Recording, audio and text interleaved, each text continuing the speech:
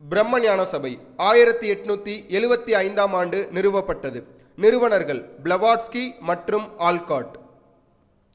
பிரம்மஞான சபை ஆயிரத்தி எட்நூத்தி எழுவத்தி ஐந்து.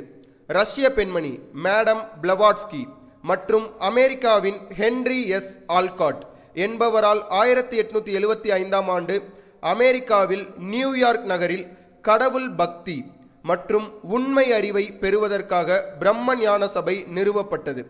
தியோஸ் என்றால் கடவுள் என்றும் சோஃபோஸ் என்றால் அறிவு என்றும் பொருள்படும்.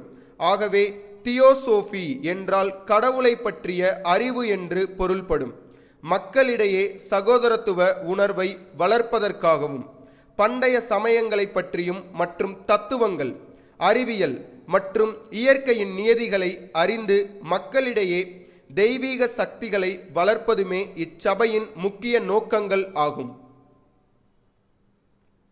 திருமதி அன்னி பெசன்ட் அவர்கள் ஆயிரத்தி எட்நூத்தி தொண்ணூத்தி மூணாம் ஆண்டு இச்சபையின் தலைவராக பொறுப்பேற்று இந்து சமயத்தின் மறுமலர்ச்சிக்காகவும் இந்திய கல்விக்காகவும் தன்னை அர்ப்பணித்து கொண்டார்.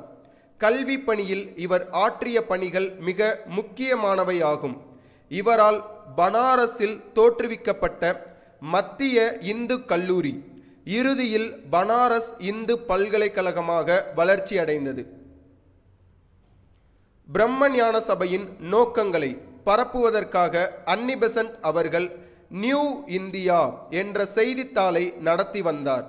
இச்சபையின் தலைமையிடத்தை சென்னையில் அடையார் என்னும் இடத்தில் நிறுவினார். அடையாரில் ஒரு நூலகத்தை நிறுவி பழமையான சமஸ்கிருத நூல்களை பாதுகாத்து வந்தார்.